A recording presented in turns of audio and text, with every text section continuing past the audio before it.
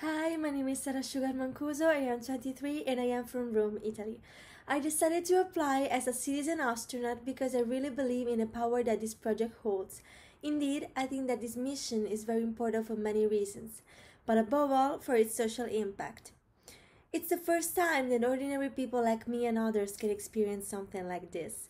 And I think that's important, especially now that there are so many issues facing our social and cultural behavior because it can help us see the world from a different perspective, in all of its beauty, without any borders or limits. As the Italian astronaut Paolo Nespoli said, the only border that you can see from space is atmosphere. Plus, it can raise awareness on the significance of space research, which can help us understand more of our planet, of its history, and how we can take care of it.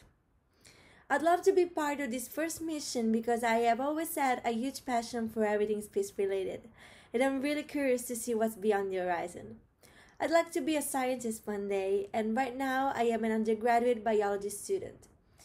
And even though it's not strictly related to space dynamics, I really love life in all of its shapes and forms, and of course, I love life whether it's terrestrial or not. And also, I really want to show flat earthers that the earth is freaking round. I'm joking, or maybe not. By the way, that's it. Uh, thanks for watching this video, and I hope to see you in space. Bye.